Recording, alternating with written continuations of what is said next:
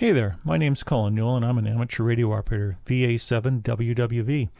Licensed for almost a decade and active in shortwave radio and DXing for almost 45 years. I've come to know a thing or two about radios, transceivers, antennas, and the infrastructure associated with the ham radio hobby. Way back in the day, it was not uncommon for radio hobbyists to build all of their own gear. Heathkit, for instance, was one of the most successful kit manufacturers for the radio hobbyist community. And here in 2020, if you take a gander at eBay, you'll see that the legacy of Heathkit is well entrenched and here to stay, at least in the used market. For the brave among us, there's also DIY or build it options for radio hobbyists, Elecraft being one. There is, however, one constant that has followed us through the years, and that is the subject of the radio antenna. It's entirely possible that outdoor radio antennas for HF specifically are the single broad gulf that many hobbyists cannot seem to bridge. And that is a shame, actually, because to miss it on the world of HF radio over one particular issue is to bypass an aspect of ham radio op- operating that is, in my honest opinion, among the most exciting. And in my years as a radio enthusiast, I've used dipoles, loops, random wires, and even base loaded verticals. Google search of any of these topics will yield an afternoon's worth of reading, so get out there and find out. And despite all this, the backyard being big enough to build anything, and particularly in my case, my discovery of the broadband and end-fed antenna by myantennas.com was something of a lifesaver. For starters, my area of interest in the HF bands runs from 80 meters, 3.5 megahertz, to 10 meters, 28 megahertz, and having half-wave dipoles for all these different frequency bands or, or purpose-built vertical antennas for each band was simply out of the question. MyAntennas.com to the rescue. Their single wire 80 to 10 end fed antenna comes in at around 130 feet. And I know what you're thinking. Wait, you ask, where am I going to find 130 feet of space?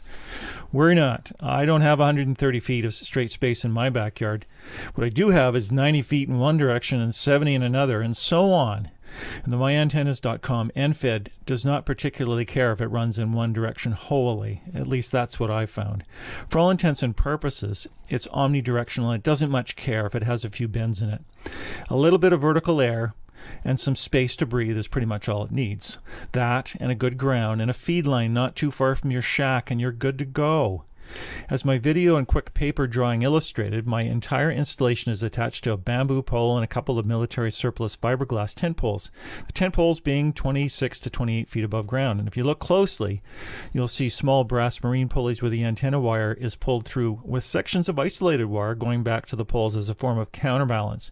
And this way, in strong winds, the counterweights flex and rebalance themselves as necessary.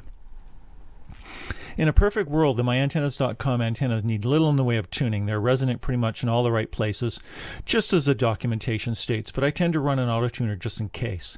My two primary rigs, the Kenwood TS480 SAT and the ICOM 703 Plus, well, they have no problem covering all the frequencies of interest from 3 MHz to 30 MHz. Power rating is 1000 watts. I've never run more than 100 watts to it. And with my somewhat kinked layout, I've had no trouble working all continents on single sideband and CW. And I've gotten into Japan running less than a watt using some of the digital modes. How fun is that? I've been using this particular MyAntennas.com antenna for three years now without a single failure or break in the wire.